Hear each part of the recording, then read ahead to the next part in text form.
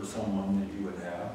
So, um, story goes that, um, there was a emergency room physician that, um, was on his day off, but he was on call. He got called to the hospital.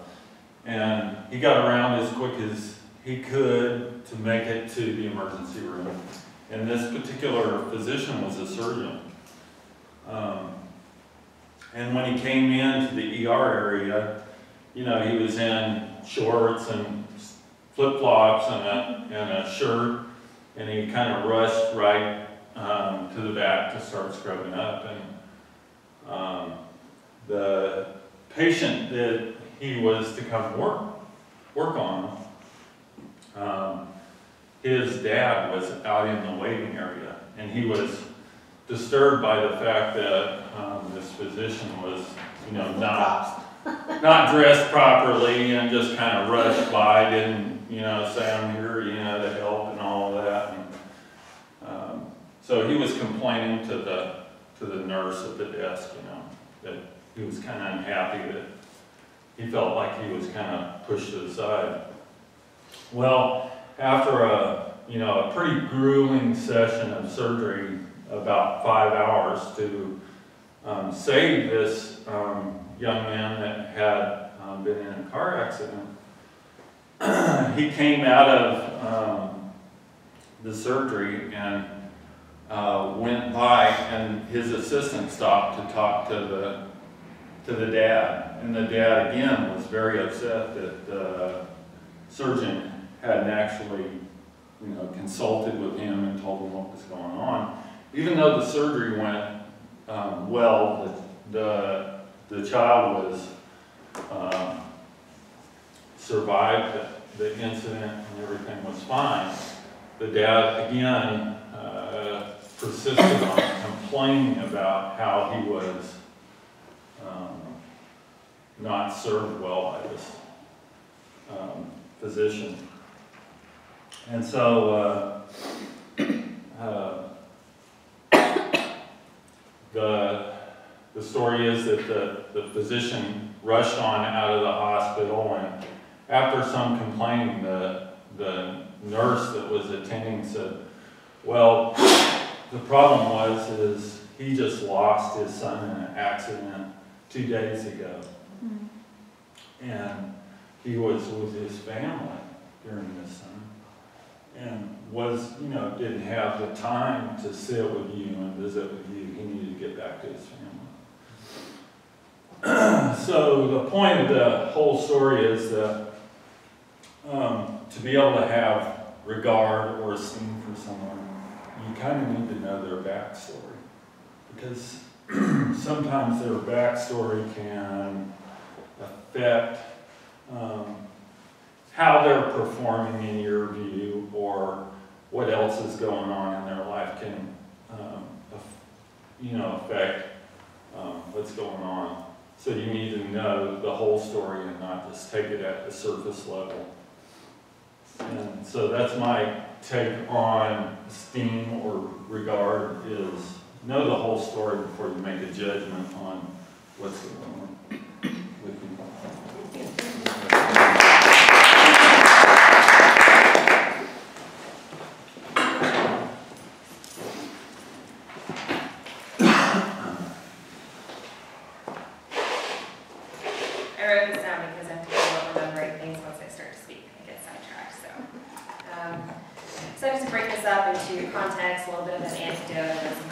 to the atmosphere. As far as context, I did some research into various definitions of respect and I kind of found the Latin and the French origin to be more relevant. It's to really have regard or consideration or um, to really look back on someone else's beliefs, to make room for their beliefs. And I think a contemporary application for that is recognizing and acknowledging other people's expectations of your behavior. And uh, that plays a key role in a lot of our ethics and a lot of our moral framework. And I know a lot of philosophical concepts, um, they treat the very essence of morality and the foundation of all other moral duties as respect for other persons. Um, and I think the British would agree. And I say that because for those of you who don't know, I was raised in a primarily New Zealander household. And New Zealanders are, uh, they take great pride in identifying with their British culture and their British heritage.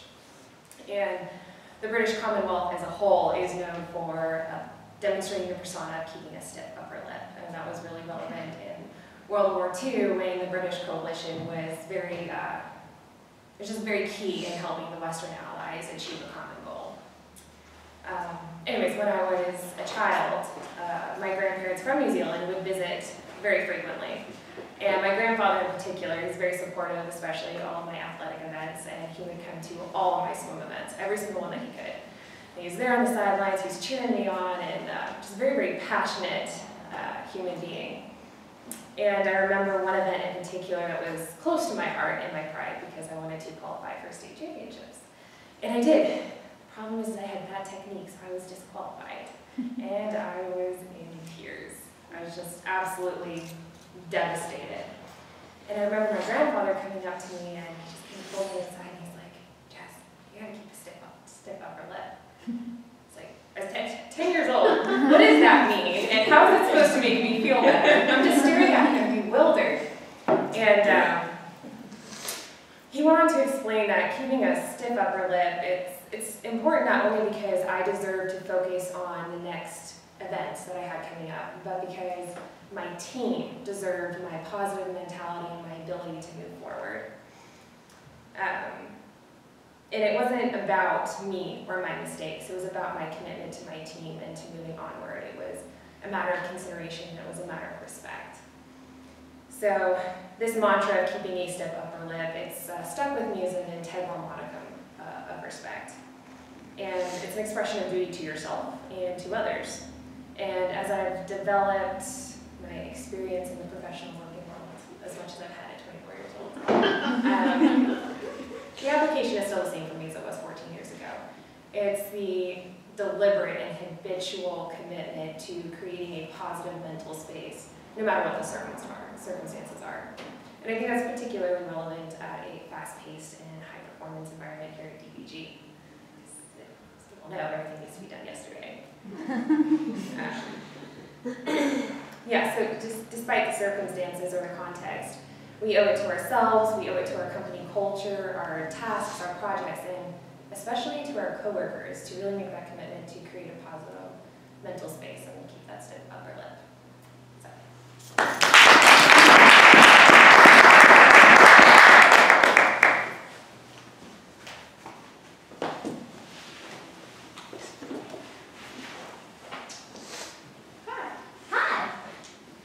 I'm gonna touch on respectful and then I'm gonna touch on respect. Respectful is an active form of the common word respect, which means feeling of admir- admiration for something or someone. Um, the meaning of respect is to show admiration for someone or something as being worthy of admiration uh, because of good quality. Respect is earned and not given. In saying that, I grew up in a background where my dad was military, so he was very strict. He had three girls and one boy. So he was very strict on us, and one thing he used to tell us, he would teach military time.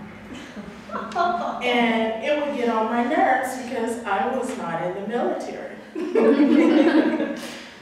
So if he said you had to be home at 1700 hour, that was 5 o'clock. Well, I thought, well, since I'm not in the military, that don't apply to me. so I was the rebellion of the family.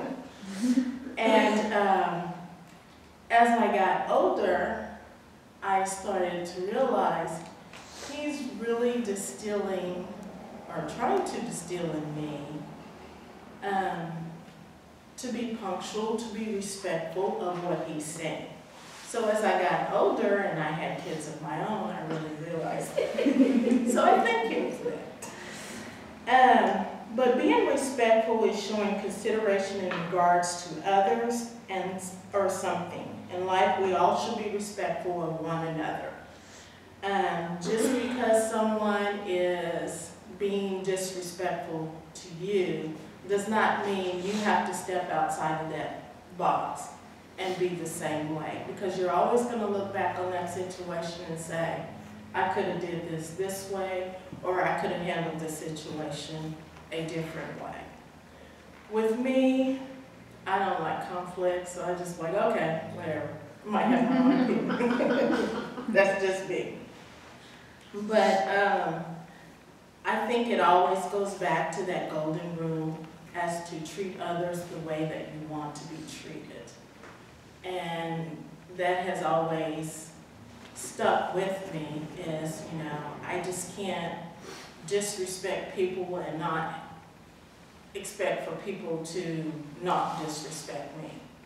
And so I just look at that and that's a golden rule, that's a value that I always carry. And if I'm asked to do something, a task or whatever, and it may not even be in my job scope, okay, how do you want me to do it? And, you know, I'm just going to do whatever is asked because it's a respect. So that's my take on respect.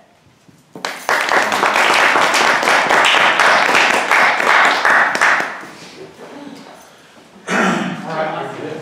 Thank you guys for sharing. that. Yep, all three of them. That was great. That was great. Everybody. Give them a little bit of background on people. I know, I like it. I like it a lot. Okay, the next thing that we're gonna do is this little, uh, what'd you say? Experience, um. Interactive, interactive experience, Okay, great. So- Um, All right, so in a minute, we're gonna go, in a couple of minutes, we're gonna go through the metrics and stuff. And so, as we went through all of the metrics and we, we were sitting down and talking about them, through that, we also came up with an order. And probably more one way to do it, but this is how our brain attacked it. And we said, okay, for our business, DBG, where does the business start and then how does it progress, right?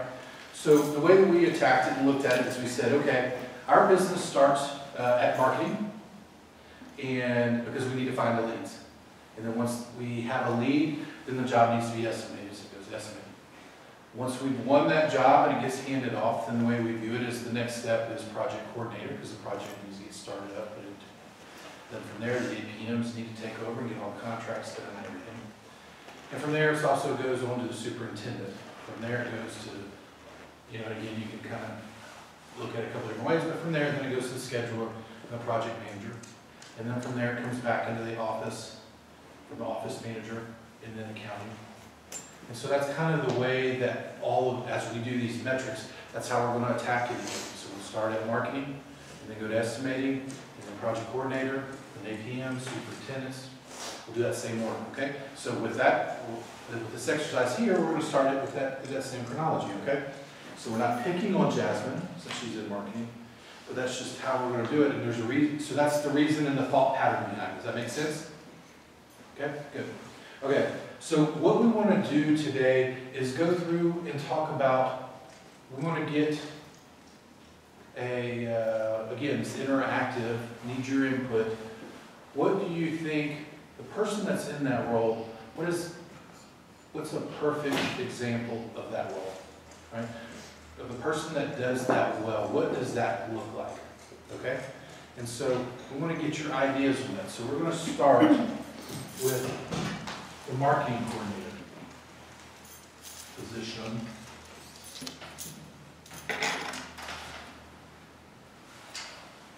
You know, all know I can write so well, so I hope you can read it in the back. You could abbreviate. All right,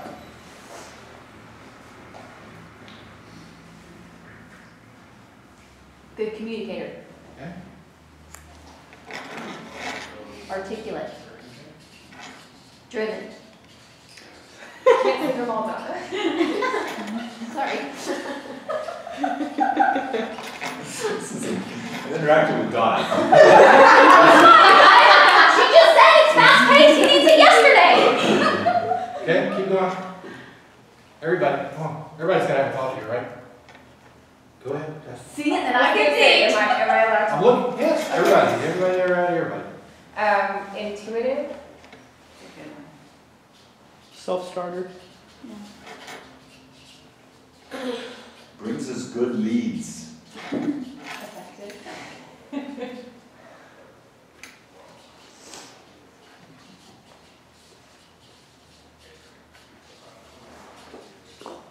I don't know how to word this really, but good at cold calling, because not everyone is made for that. I think that ties into what I was about to say, maybe perseverance. Compartmentalizing?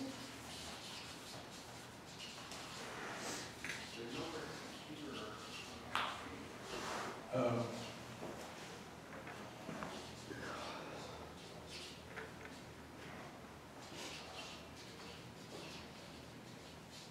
Someone with good computer skills too.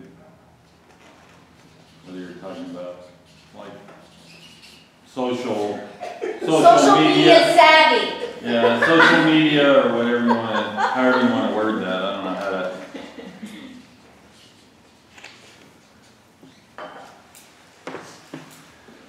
I would say the ability to be flexible and multitask. Multitask. Perfect, yeah.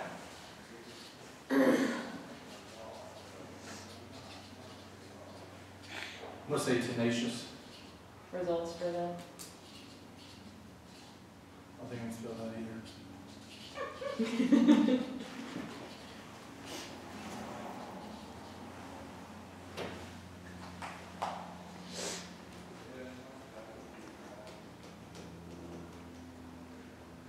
So there's another word there, and I don't remember what the word is, but, um, the ability to be able to go and do something that's rather nebulous, or, or it's not, it's, because part of what that role has to do is go find the person at AutoZone that we need to talk to about building AutoZone. Get past the gatekeeper. Investigative? Someone Maybe that's what it is, investigative, that's a good one. Uh,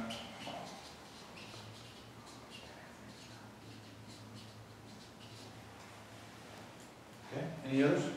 Someone who's knowledgeable of the market.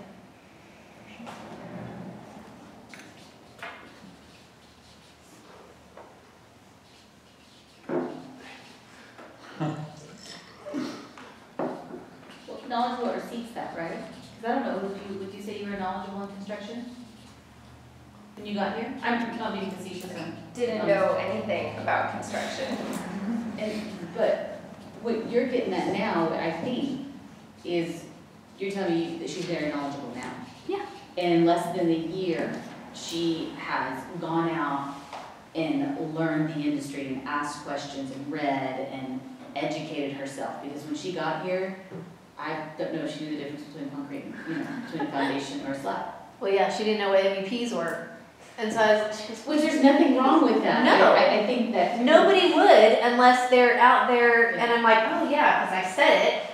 And I'm like, oh, oh yeah, I gotta break it down. Mechanical, electrical, and plumbing. She's like, oh, that makes total sense now. But, well, and just like today, head knocker, she's searching the internet for a head knocker. I'm like, it's not really called head knocker, that's what we call it in the construction, you know? That's right. What's it called? It is called a wall cabinet. What's it gonna do? I wonder if that's in my construction dictionary, the actual word. I should hand you my construction. Okay, So let's keep going, we got it. we good? Any others? All right, so let's go through it again real quick. So marketing, great, a good marketing coordinator, they're good communicator, they're driven, they're articulate, they're intuitive, self-starter, brings good leads, cold calling, perseverance, compartmentalizing, social media savvy, flexible, multitask, tenacious, results driven, investigative, uh, knowledge about the market if not seeking it, willing to learn. Okay, cool. Next one is estimator.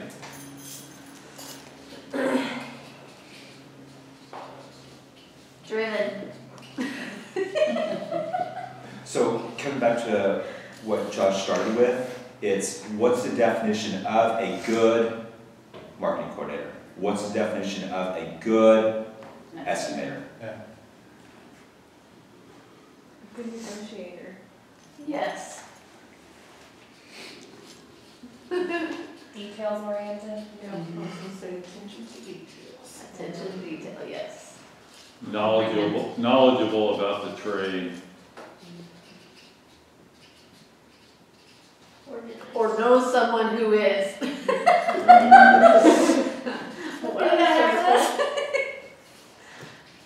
Systematic.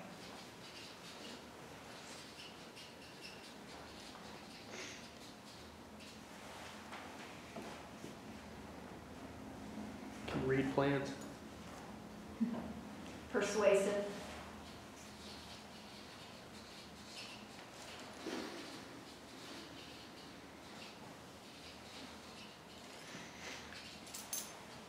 Is better word than persuasive? Personable. I think persuasive and, ne- and negotiation kind of go hand in hand. Thanks, Carla. I like personable. Yeah. Well, persuasive could have negative connotation. Sorry, Donna. Yeah. Just, you know, it- there's, there's, there's a good side to that and a bad side, right? Yeah, as with many things. So I think, so like where I like it in persuasive in this one, is that when they're having a call just to even get a bid. Well, you know, we- we've already got this one this week, all right, come on, do ours, or, you know. Yeah. Or So when that's I good. need you and you're the best person for this job and, Yeah. Whereas it can also be negative as well. We a lot to go through. Uh, Okay. Um, again, uh, good on the phone. phone skills. Huh? Phone skills, sorry, it's fine.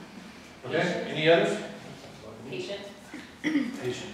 Um, We have no time for patience and estimating. All right, so again, definition of a good estimator, driven, negotiator, details oriented, knowledgeable, trades, organized, systematic, can read plans, persuasive, personable, good on the phone, and patient. Okay, good? Mm-hmm. All right, next one on the list, project coordinator.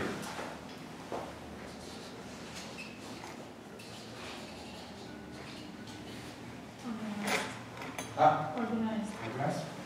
Detailed.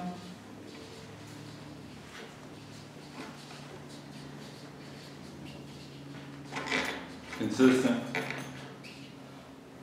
Huh? consistent, Consistent.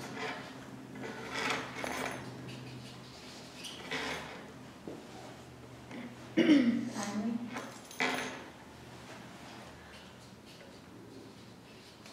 Um, willing, the thing that jumping out a lot of Assertive. areas. Assertive.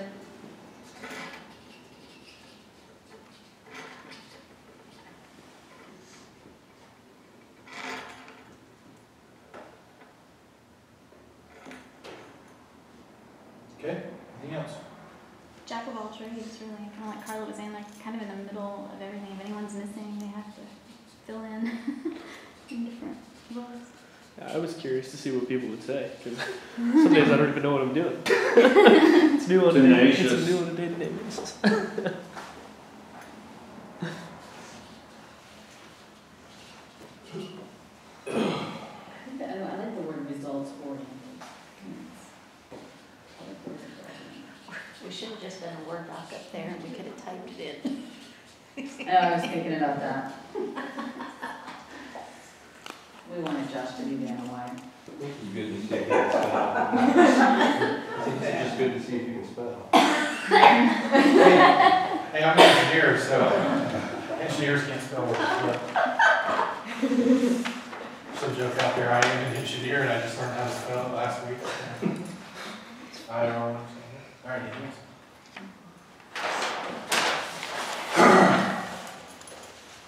APM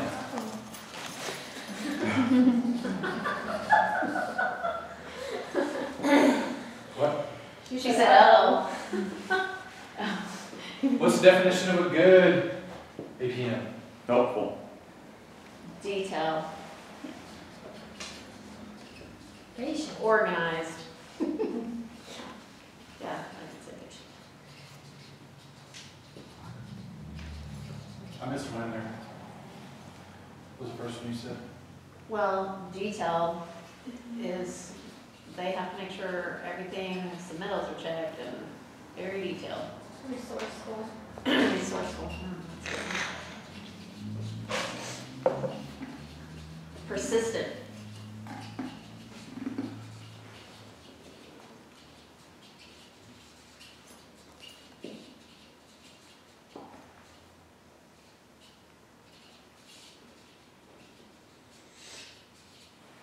Good verbal and written communication.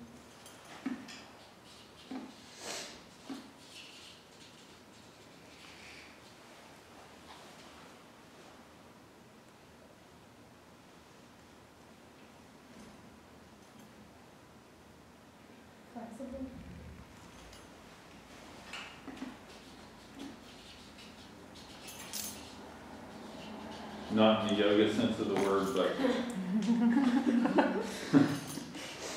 helps. What about tactful, because I know you guys deal with clients and architects. And What? multi- Like tactful, I was asking Marla or Carla if. And multitask, a multitasker, able to multitask. Is that added up there somewhere? Problem solver.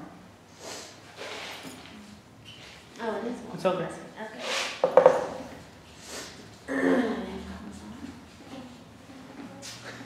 Yes. It's on there twice. Observant.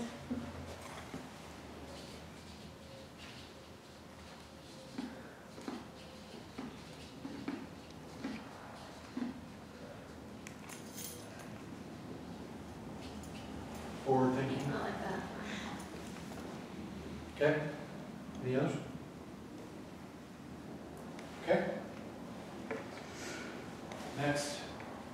So, good APM, helpful organization, detailed, multitask, resource, persistent, results oriented, good communications, flexible, problem solver, tactful, problem solver, observant, and forward thinking. she.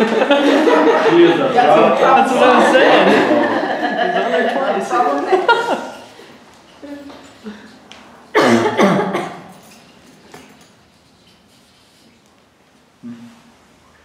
Take ownership for the job. Josh Anderson.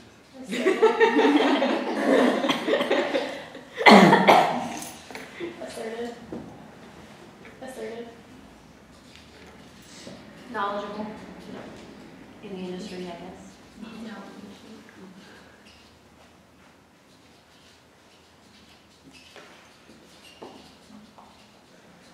I think you have to be convincing because you have to convince your subs that they can work harder than they think they can. Persuasive? Persuasive, you know. Creative problem solver.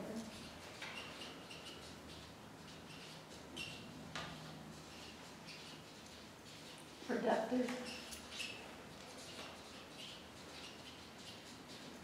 Reliable.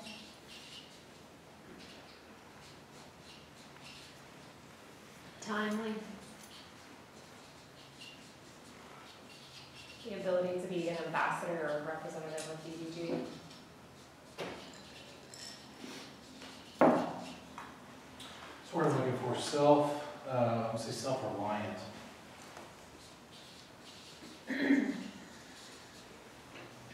Because they're out there by themselves doing it on their own, right? I mean, they've got the office or whatever, but at the end of the day, they're, they're out there. on their own. The leader.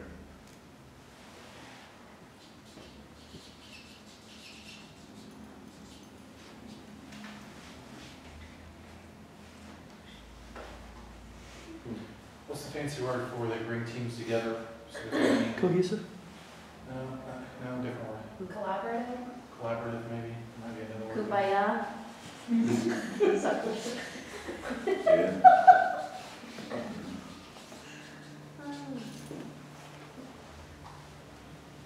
Custodial.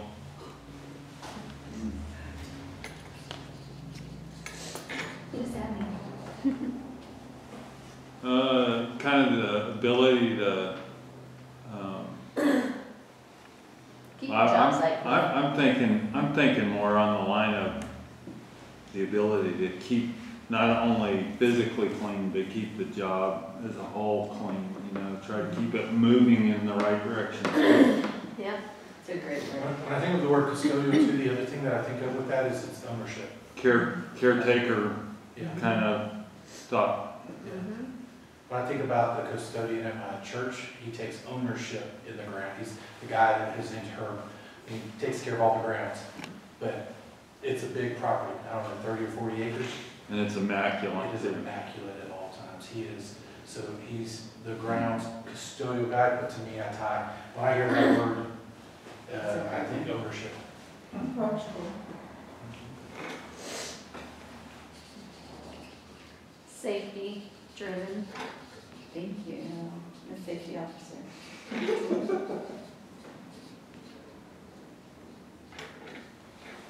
Okay?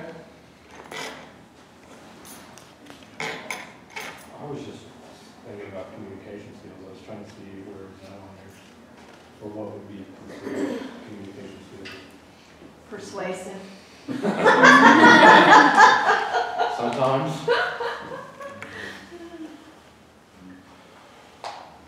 Creative problem solver. Mm-hmm. All right. Definition of good superintendent takes ownership, assertive, knowledgeable, detailed oriented, uh, persuasive, creative problem solver, productive, reliable, timely, self-reliant, ambassador, a leader, a collaborative, custodial, approachable, self, uh, safety driven, and good communications. AKA we're all badass.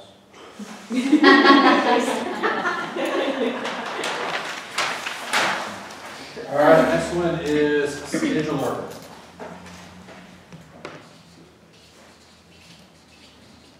Accurate. Pushy in a good way. Pushy in a good way. Proactive. Forward thinking. That's. Leader.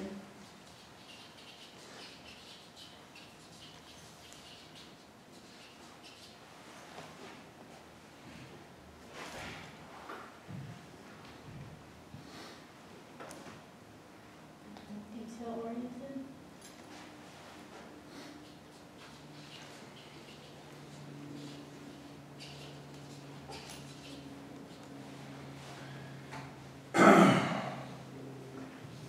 Everyone being so flexible, I need to start up the yoga class.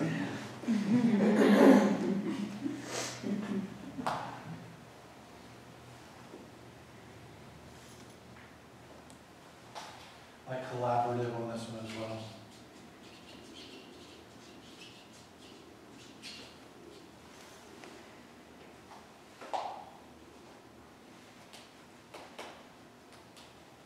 I think they need to be knowledgeable in the trade, considering that they have to determine timelines for the project.